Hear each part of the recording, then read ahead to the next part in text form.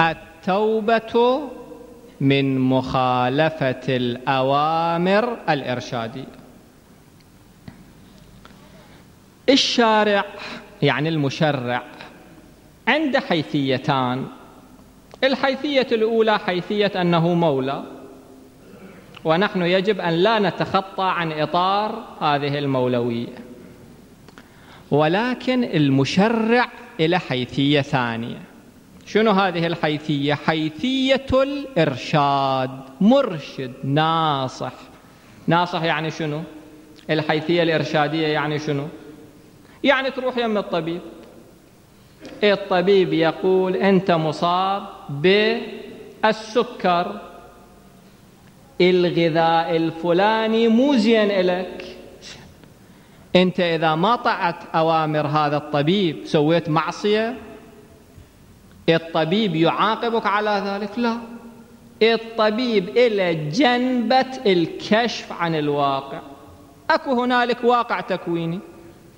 فلان طعام يضر السكر. هذا الطبيب يكشف لك هذه الجنبة. زين. إذا واحد ما أطاع الطبيب من اللي خسر الطبيب هو اللي يخسر؟ لا هو اللي يخسر. الإنسان المصاب بالقلب إذا ما أطاع الطبيب هو الذي يخسر. هذا شيء طبيعي.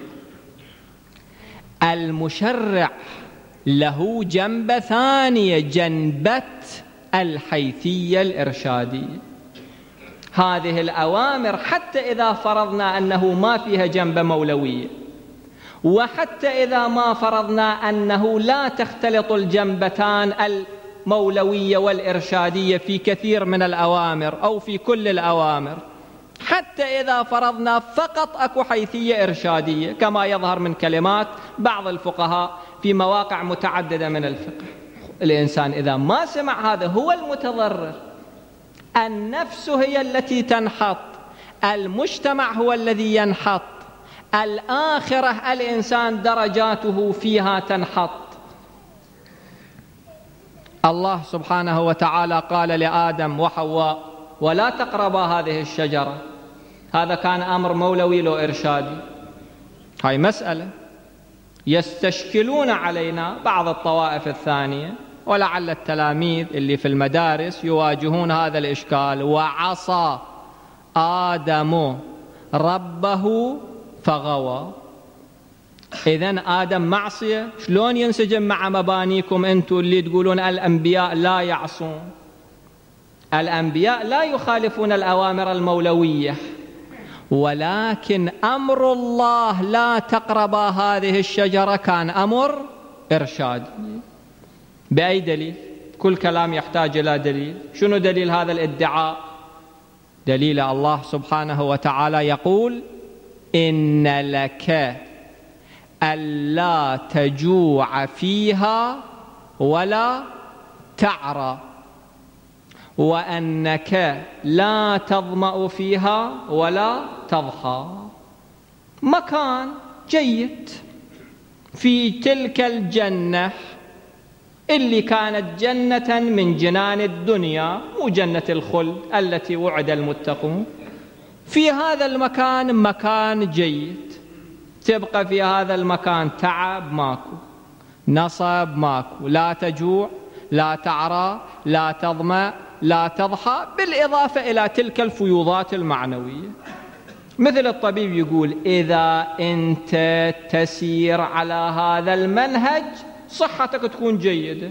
إذا خالفت مو معصية مو حرام.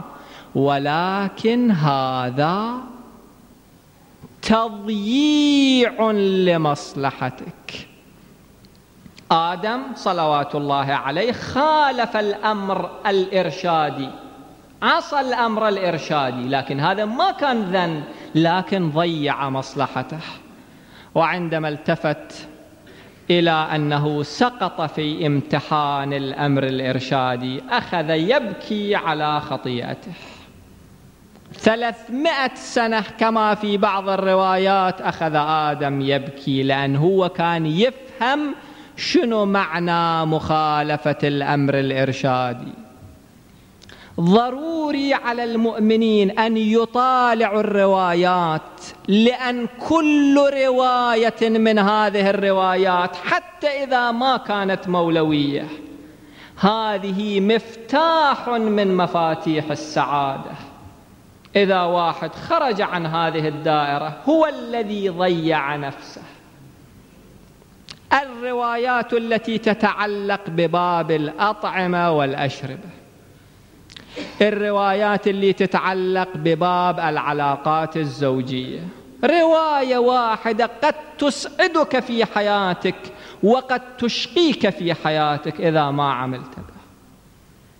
الروايات اللي موجودة في باب النكاح لعل روايه واحدة. الإنسان ما ينفذها؟ الابن يخرج معوق سبعين سنة.